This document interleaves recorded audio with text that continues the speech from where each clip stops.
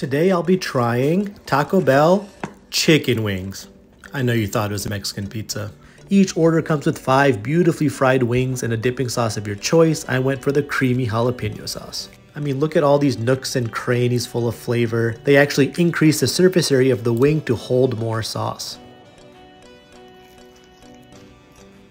These wings have everything you want in a wing. The exterior is nice and crunchy, while the meat inside is moist and juicy.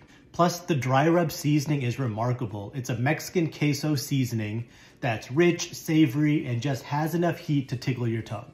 I really wish they had these on the menu all the time. The best type of wine to pair with chicken wings is something with bubbles, such as a Prosecco, a bubbly rosé, a champagne, or a Moscato. Bubbly wine and crispy chicken wings are a match made in heaven. The high acidity in the wine really cuts through the fat while the bubblies, the bubbles playfully balance out the fried exterior of the chicken wing.